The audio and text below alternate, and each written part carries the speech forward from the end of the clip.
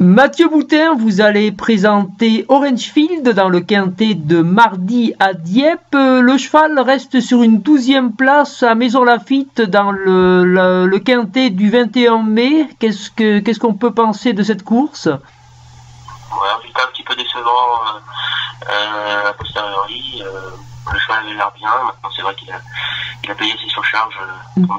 et il arrive en quarantaine avec peut-être un peu, un peu moins de possibilités euh, et de marge d'erreur. Donc euh, voilà, un parcours qui ne soit pas sur mesure, un effort un peu prématuré et, le cheval a, plus maintenant les moyens de, combler euh, tous ces aléas de course. Mais néanmoins, je le trouve encore bien. Il reste en, en bonne condition, il est toujours vaillant. Je ne crois pas que la forme soit passée. Je ne pense pas que le, moral soit, mm. soit atteint.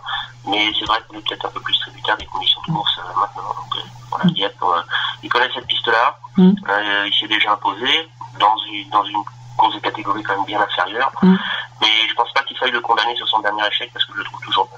Ah, en plus, il a un bon numéro à la corde, il a le 5. Hein. Alors tant mieux, on va essayer d'en profiter.